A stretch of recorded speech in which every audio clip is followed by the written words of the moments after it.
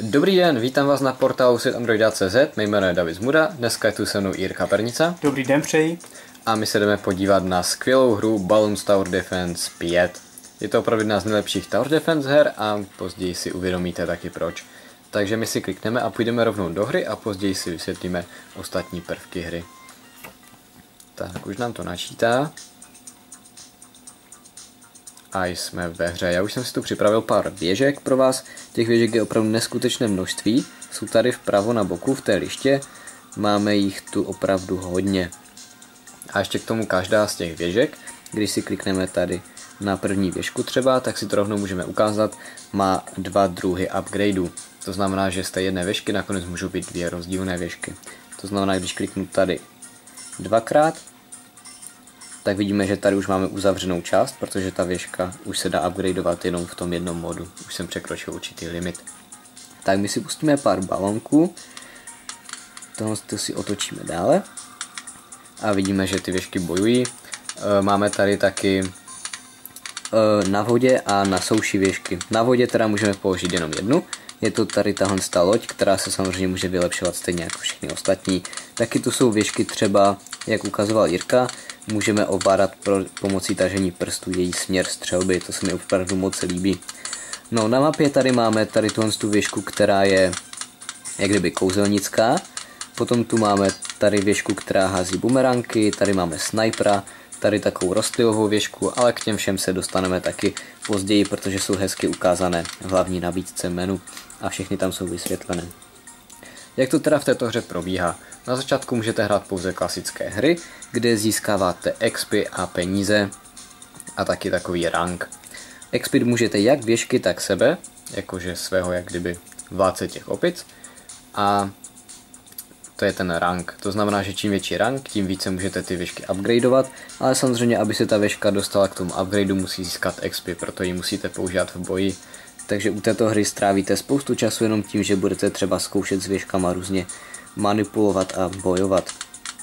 Ty balonky, které chodí na, na ty opice, jsou různé, někdy bývají právě tady, jak vidíme, takové našedlé, to znamená, že klasická věžka je nemůže trefit, pouze speciální věžky nebo hodně upgradeované věžky, k tomu se používá třeba Ninja, Ninja Tower, která je schopná je zničit. Nebo tu jsou taky, eh, jak bych to řekl, obrněné balonky a ty se dají právě zničit třeba jenom výbuchem nebo tady tímhle s tím kouzelnickým, takže opravdu na každý balonek jiná věžka anebo jiný upgrade. Podle toho si taky musíte zařizovat. No tyhle ty základní hry, teď už se můžeme vrátit do menu, když jste, anebo ještě vám ukážu nějakou věžku, která je třeba taková netypická pro Tower Defense. Dám si tady třeba tohle letadlo a to mi bude kroužit a střílet. Taky se můžu samozřejmě upgradeovat, tak jako všechno ostatní, nebo tu můžu mít vrtulník. A nebo tady Supermana věžku, který střílí opravdu jednu za druhou ty šipky. Co jsem ještě neřekl, že když si tu hru spustíme, tak tu máme dvě rychlosti, tohle je základní, ta pomalá, anebo si to můžeme zrychlit, ten zrychlený mod bude se používat opravdu často.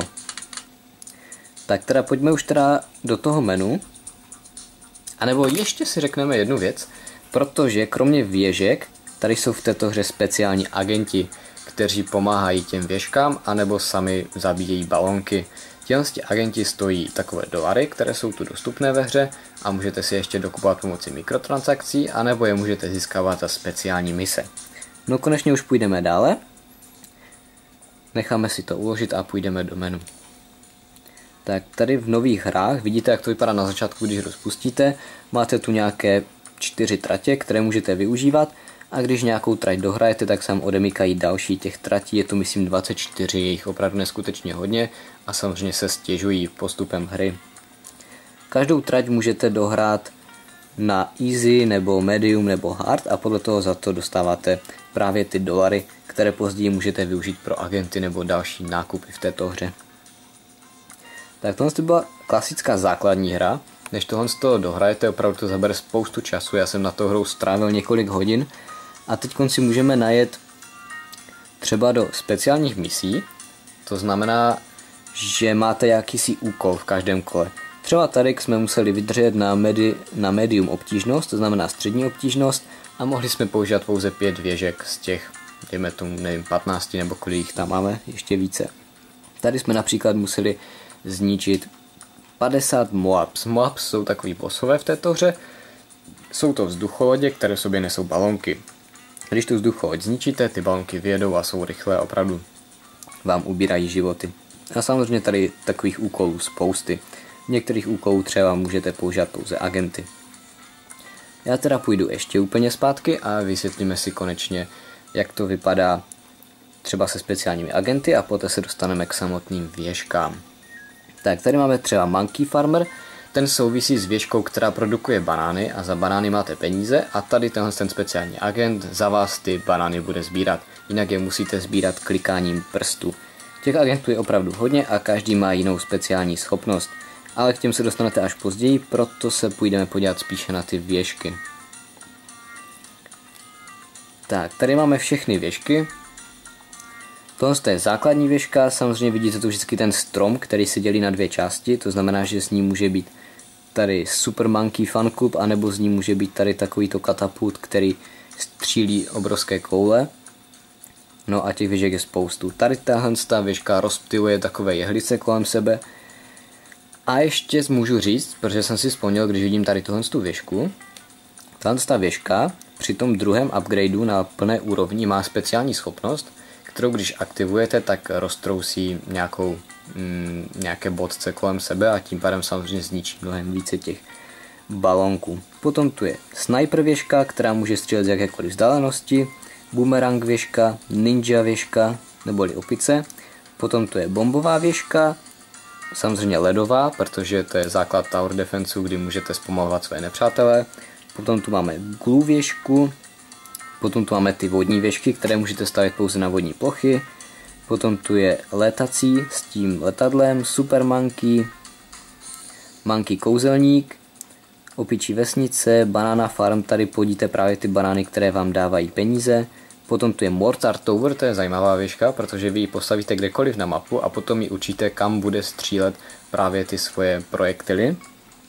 Je tu Dartingham, to je můj oblíbený, je to kulomet, který můžete ovládat prstem a směřovat eh, směr jeho střelby. Spike Factory, to házíte na zem takové bodce, to můžete zároveň i ve hře eh, vpravo dole, jestli jste si předtím všimli, tak tam byly ananasy a tyhle ty spajky, které můžete dávat na zem a oni vám pomáhají. A nakonec je tu helikoptéra, takže věžek opravdu strašně hodně, je tu velký strom v těch věžkách a Prostě ta hra je neskutečně obsáhla. Jirko, co si myslíš o tak obsáhlé hře? Tak já mám stejný názor jako David, to já si myslím, že tolik věží v žádné Tower Defense hře ani není. Navíc je tam velká možnost eh, jejich vlastně customizace, že si můžeme zvolit ten strom skillu a navíc mi zaujaly ty věžky, které se dají sami směřovat eh, například prstem, to jsem ještě v životě neviděl v žádné Tower Defense hry a to si myslím, že je na tom nejvíce zábavné. Tak tady si ještě můžeme vylepšovat za takové mince, které také získáváme za hraní různé síly u těch věžek, takže těch upgradeů a možností je tu nespočet. Já jsem u té hry strávil už opravdu, troufnu si říct, snad desítky hodin, ale abych to nepřehnal, prostě několik dní každý den hraju a pořád mě to baví, protože ta hra vás neustále něčím stimuluje, něčím novým a něco nového tam přináší. Za zhruba 57 korun je to opravdu úžasné.